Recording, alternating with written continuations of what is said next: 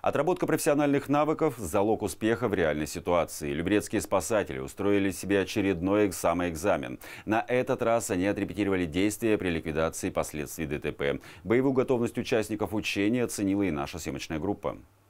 На Новорязанском шоссе столкнулись два автомобиля. Из-за сильного удара и наезда на столб один из них перевернулся. Водитель заблокирован и не может самостоятельно покинуть салон. Тем временем вторая машина начинает гореть. В ней находятся две девушки. На место прибывают пожарные.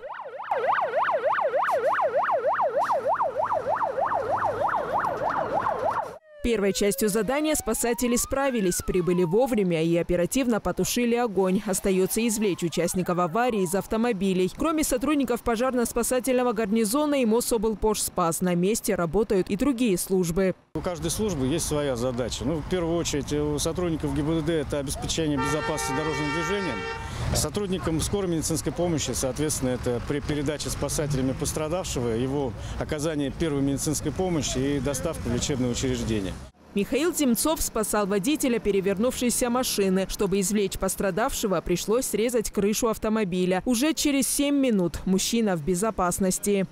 Как вы сегодня видели, у нас были живые статисты, а это крайне редко применяется в аварийно-спасательных работах. Но когда все риски сведены к минимуму, и пожарный работает непосредственно с живым человеком, он начинает и более глубоко погружаться в эту игру, верить, и, соответственно, при уже реальном ДТП, при работе на ДТП, спасатель будет уже действовать по этим клише, по отработанным.